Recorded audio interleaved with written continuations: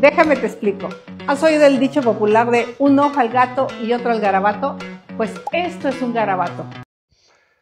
Mientras Xochitl Galvez anda diciendo puras babosadas, fíjense lo que decía Noroña 2010 y 2011. Pero tú eres lo más negro que tiene el gobierno de usurpador de Calderón, tampoco tengo duda de ello. Bueno, respecto a que soy asesino o no, usted es diputado y cualquier ciudadano en este país está obligado a, aportar las pruebas ante la competente. He conocido a gente cínica y a usted. No se hace una propiedad de 20 millones, ni de 7 millones y medio, ni el restaurante, ni esas cosas, con un salario de 150 mil pesos mensuales. Eso es evidente. No le van a salir los números de ninguna manera. Acerca de García Luna.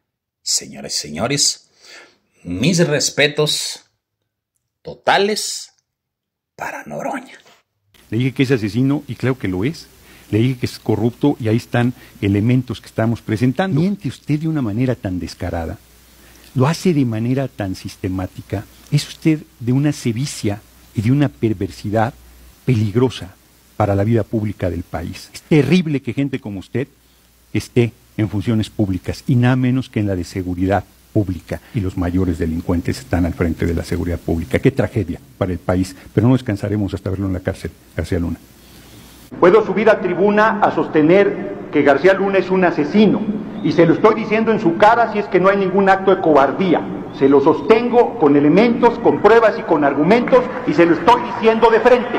No hay ningún acto de cobardía. Así es que la impunidad va a seguir en este país y ningún sentido tiene que vaya a meter la denuncia penal por la que está protegido por sus cómplices, incluido quien usurpa la presidencia de la República. Y sostengo que García Luna es un asesino. El único que en este pleno ha llamado asesino a García Luna, soy un servidor y lo he sostenido. Quiero informar a esta soberanía que hace un momento Genaro García Luna, secretario de Seguridad Pública del gobierno usurpador de Felipe del Sagrado Corazón de Jesús Calderón Hinojosa, fue condenado a 38 años y 8 meses de prisión. No se lo mandé decir. Cuando yo era diputado se lo dije de frente.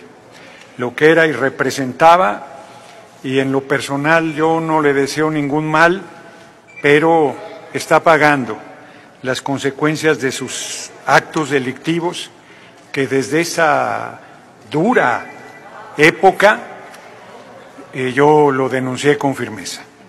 Y quise, era yo diputado 2009 en la comparecencia de 2009, de 2010 y de 2011 no, 2010, 2011, 2012, los tres años que compareció, ahí están los videos en YouTube, que son 14 años.